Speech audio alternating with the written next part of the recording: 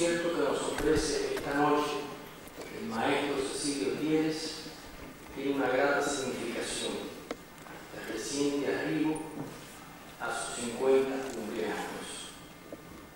He tenido el privilegio de conocer a Cecilio Díez desde su más tierna edad, lo cual me ha permitido seguir sus pasos a través de su formación musical y su trayectoria intelectual. Aquí asoma su rostro aquel hombre íntegro que se llamó Evelio Tieres Soler.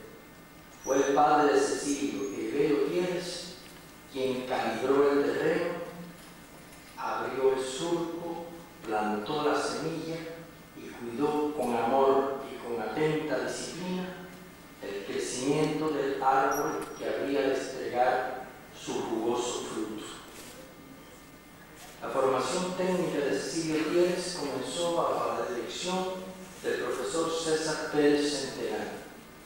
En 1952 estudió en el Conservatorio de París con Bertelier, Benvenuti y Champi. En 1958 pasa a Moscú y continúa sus estudios con Fender y Hiroshima en el Conservatorio Tchaikovsky.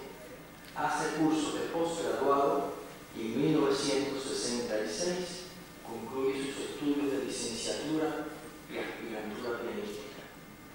De regreso a Cuba se incorpora como profesor en la Escuela Nacional de Arte y como concertista en el Consejo Nacional de Cultura. En ambas esferas su actividad ha sido relevante. Como intérprete, tanto de solista como en conjuntos de cámara, domina un amplísimo repertorio con especial énfasis en la música cubana contemporánea, latinoamericana y española. Su actividad de concierto abarca gran cantidad de países, Cuba, Francia, Alemania, España, Portugal, Checoslovaquia, la antigua URSS, Ecuador, Estados Unidos, entre otros. Como pedagogo ha tenido una amplia y rica trayectoria Muchos de sus alumnos han sido laureados en concursos nacionales e internacionales. Es notable su participación en la confección de planes y programas de todos los niveles de la enseñanza musical en Cuba hasta 1984 y luego en España, donde el gobierno de Cataluña lo nombra miembro de la comisión encargada de esta tarea.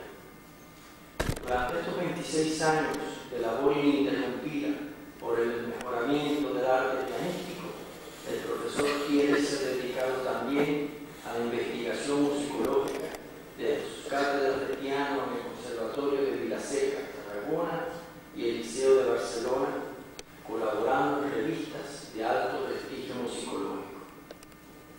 Hace apenas unas horas formé parte del jurado que se constituyó en el Instituto Superior de Arte de La Habana para otorgar al maestro Tieres el doctorado donde desarrolló con brillante defensa un infundioso estudio sobre la personalidad de Nicolás Ruiz Espadero, el compositor más representativo y controvertido del romanticismo musical en Cuba durante el siglo XIX.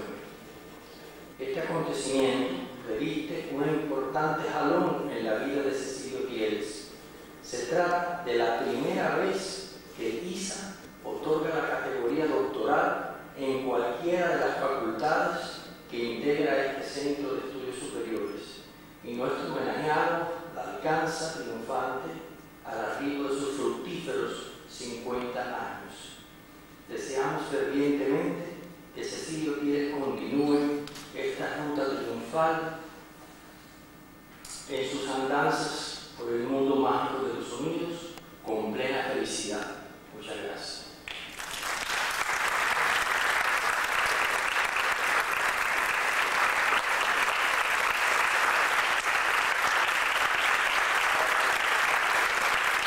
Bien, ahora este, vamos, a, vamos, a, dejar un poco de señal de este acontecimiento de esta noche.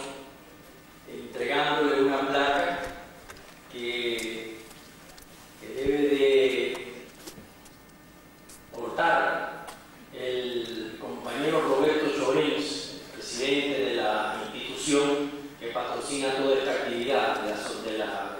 situazione